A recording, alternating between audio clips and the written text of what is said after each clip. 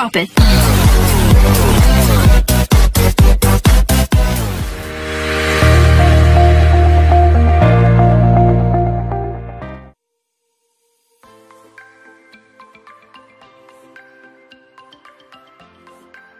Assalamualaikum warahmatullahi wabarakatuh Halo para sahabat Lesti Lovers Di mana pun kalian berada Selamat siang, selamat berjumpa Dan selamat bergabung Tentunya bersama Mimin di channel Youtube Les Fat Channel Channel yang akan menginformasikan kabar-kabar terbaru, terupdate, dan terhangat tentunya seputar Lesti Kejora dan Rizky Bilar.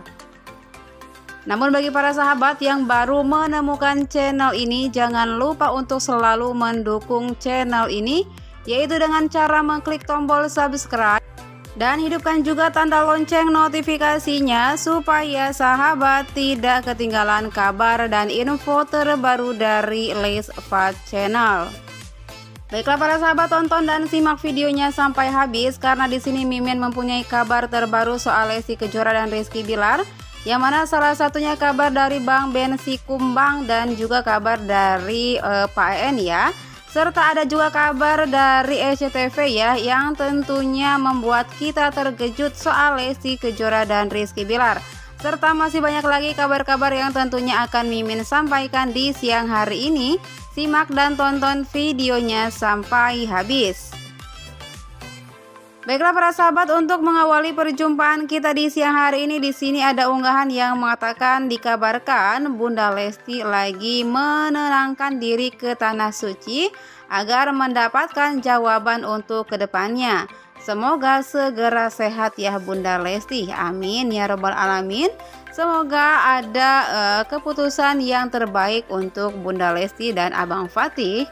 Dan kita lihat ya para sahabat di sini ada Irfan Hakim yang mengatakan dengan bahasa Sunda ya ungkapan uh, kekesalan hatinya kepada Rizky Bilar. Di sini Irfan Hakim mengatakan melesat terbang tinggi udah tinggi dijatuhkan, memberikan kebaperan udah baper ditinggalin. Bilangnya sayang ternyata si anjing malah mendua sakit hati banget kayak ditonjok Ultraman kata Irfan Hakim mengungkapkan kekesalannya kepada Rizky Bilar yang tentunya uh, melukai hati Lesti Kejora ya sahabat. Sesayang itu Irfan Hakim kepada Lesti.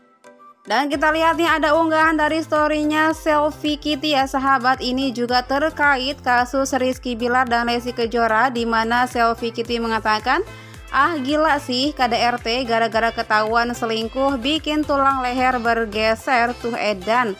Duh laki-laki macam apa kayak gitu? Gemes juga gue akhirnya.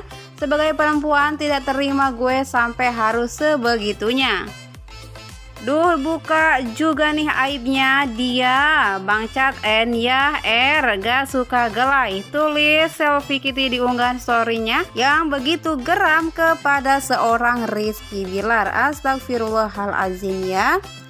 Dan kita lihat nih ada ungkapan dari Karsa Purwandi yaitu kakek Lesti Kejora ya di Cianjur. Yang merasa sangat kecewa dengan sikap KDRT ataupun e, perilaku KDRT yang dilakukan oleh Rizky Bilar kepada Lesti Kejora ya sahabat. Di sini ia begitu betul-betul kecewa atas uh, Lesti Kejora ya yang dicekik, dibanting dan sekarang ia pun melihat sendiri di depan matanya kondisi Lesti Kejora saat ini. Ada komentar di unggahan ini mengatakan nih kalau masih ada yang minta klarifikasi dari pihak korban, ini kakeknya Dedek bukan netizen. Coba buka mata hati kalian yang selalu ngebela si pelaku.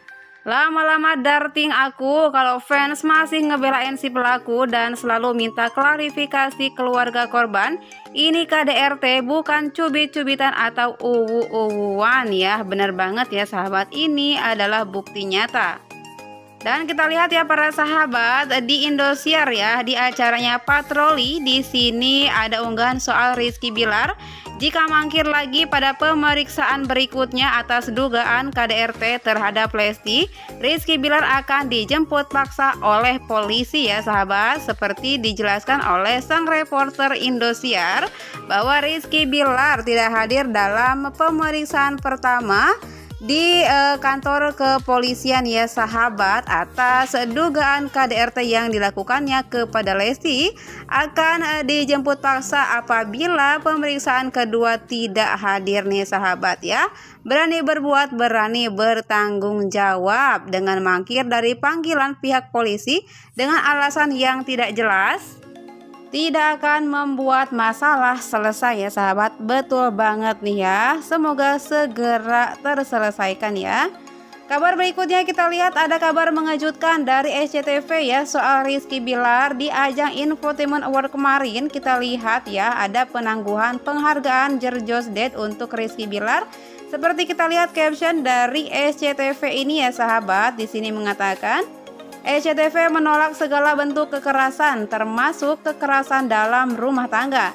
Dengan adanya proses hukum yang berlaku, maka penghargaan Jerjos Dead untuk Rizky Bilar di Infotainment Award 2022 ditangguhkan ya. Stop kekerasan Stop KDRT ya. Dan langsung direpost oleh akun Instagramnya Indo TV Trend nih yang mana di sini mengatakan tersandung kasus KDRT SCTV tangguhkan kemenangan Rizky Bilar di Infotainment Award 2022 dalam nominasi Jerjos Dead ya sahabat.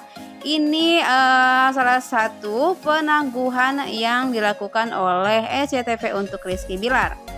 Dan kita lihat kabar berikutnya di unggahan storynya Bang Bensi Kumbang nih. Ada unggahan yang mengatakan pada kecolongan Pak Wawa sebenarnya ayah Mamah Kejora dan Bang Bensi Kumbang itu ke kantor polisi semalam Cuma A punya Bang Benny aja semalam tapi pada nggak ngeh sekarang yang aku up kata Bang Bensi Kumbang di unggahan terbaru miliknya soal uh, pertemuannya bersama ayah Kejora Mama Kejora di kantor polisi.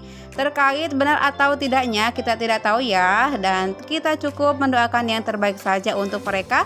Semoga masalah ini segera terselesaikan ya dan Tentunya itu saja kabar update dari Mimin siang ini. Terima kasih sudah menonton dan wassalamualaikum warahmatullahi wabarakatuh.